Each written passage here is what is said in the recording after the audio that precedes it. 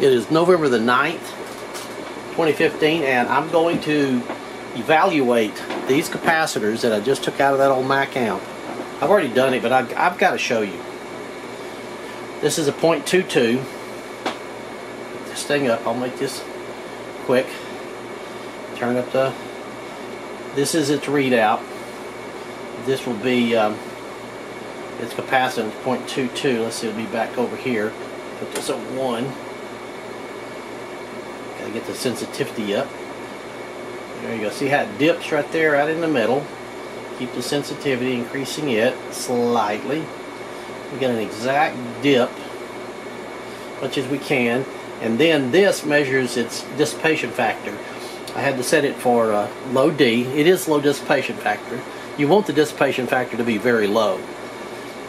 Uh, dissipation factor is somewhere between zero, which would be the perfect capacitor, and one, which would be the worst capacitor. If it has a dissipation factor of one, then it's then all of the power is being dissipated in it, and you want to get rid of it. But anyway, and then you tune this until it dips again. Keep increasing our sensitivity. Okay, see where that's dipping right there? Okay, and then we're reading directly off right here. Whoa, our capacitance. See right there, it's measuring 0.22, just a hair over 0.22. This thing is accurate, and its dissipation factor, see it's called low D. You look here on the low D scale, it's about point, oh, 0.007.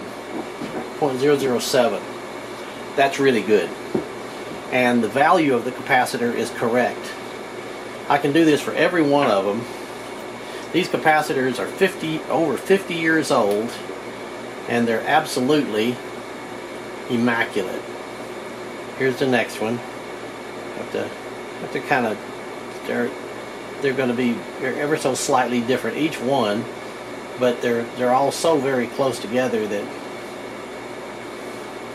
dissipation factor, see it's almost exactly the same. These capacitors are as good today as they were made 50 years ago. These Sprague, um, I believe they call these Black Beauties.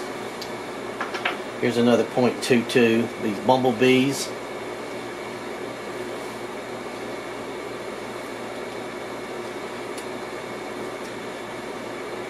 I love this thing. This is a gorgeous instrument. Dissipation factor on it is going to be very low too. I, I don't want to make this thing too laborious. But see right there the readout, that's just a hair less than 0.22. Uh, here's a 0.47. Put this guy on there. Back it off a little bit. Run this fellow up right here until we get a dip right there. This is all being tested at 1 kilohertz. See, this one measures 0.4, 0.46 with a dissipation factor, uh, not, not sensitivity, um, pretty much the same. Down here, 0.008. Now the way that, uh, they didn't call it ESR back in those days, they called it uh, RS, series resistance. And they say it's the dissipation factor divided by omega CS. CS is uh, the series capacitance, which is the capacitor value. I won't bore you with doing this with this math, but if you do D, which would be 0.008 in this case, divided by 2 pi F, and then the value of the C, 2 pi times F, which is 1,000 hertz, times the value of the capacitor, you will end up with about 7, which, get, which is exactly the same value that these little guys give you.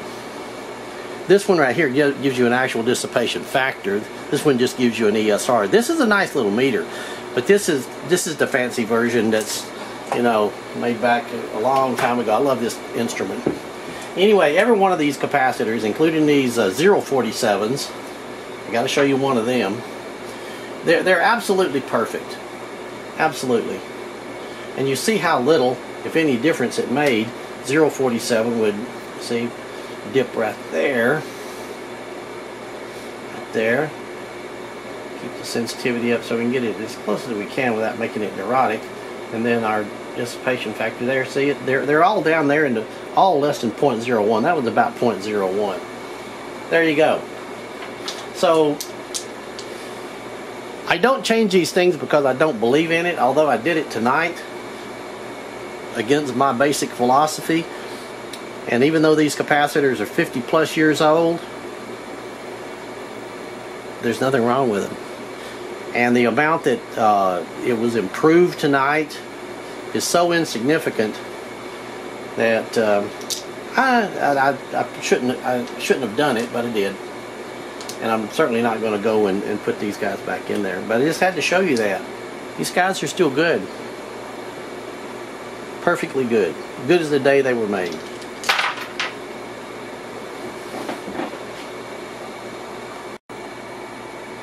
I do want to show you how to, how to come up with the ESR value. A beautiful instrument like this, the way that you do it, again, right here, RS, which is uh, ESR, is the dissipation factor divided by 2 pi f and then the value of the capacitor. Okay, let's do it.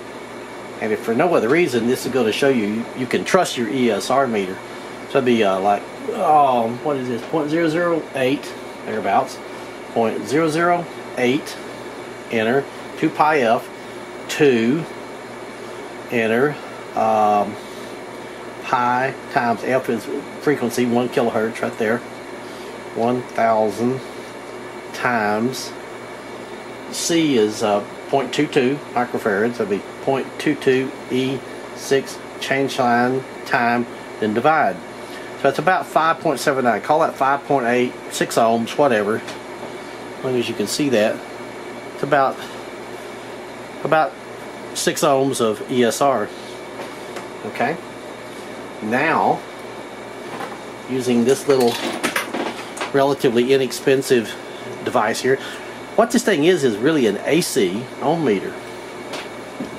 So we had 5.79 ohms and uh, we clip them together and then we press this button and we zero it out. And then we take that capacitor and we hook it across there. And we get 6.6 now I realize that's not the same number.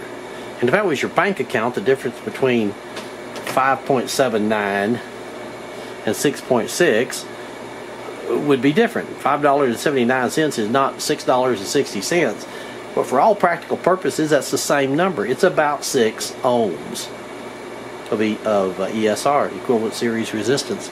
So these little guys are good. I trust them. And when I measure capacitors and they give me good ESR, I don't change them, except for tonight. So anyway, I had to do it. I guess I just had to prove to myself that that uh, the little instruments we can have nowadays are, are, are really quite nice. This is, uh, you know, the expanded version of it from probably the late 40s or early 50s. Gorgeous instrument. There you go. Hope this helps. Save capacitors.